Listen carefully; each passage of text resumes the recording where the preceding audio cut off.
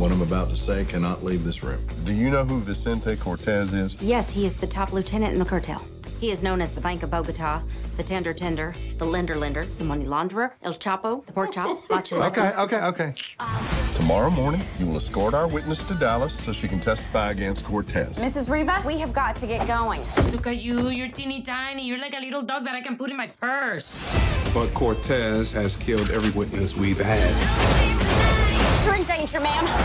Everything's gonna be fine. What about my husband? Everything but your husband's gonna be fine.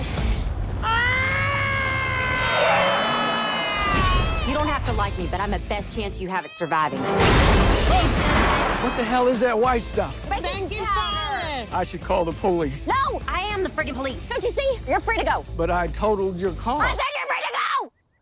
This accident's gonna be all jacked up.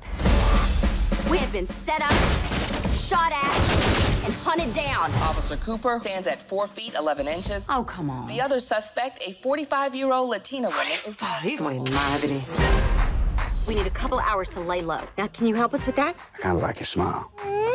You do not know anything about me. I have seen your underwear. I like a lot of coverage. It's no underwear. That's a diaper. I know everything I need to know.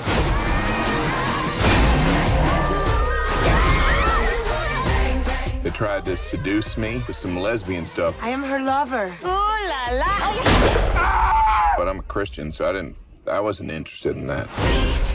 Randy? Whoa, hey, Oh. Penis! Oh my god! Uh, Penis! I'm gonna get.